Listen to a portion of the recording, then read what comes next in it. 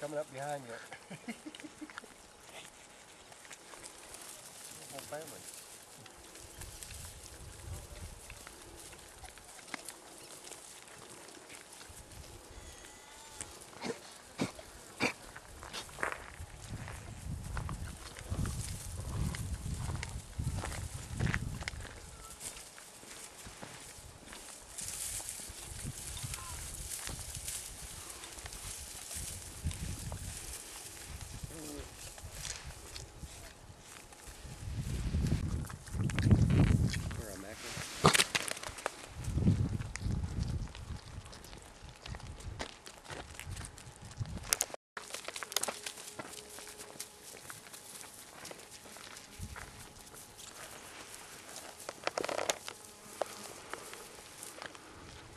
Eight.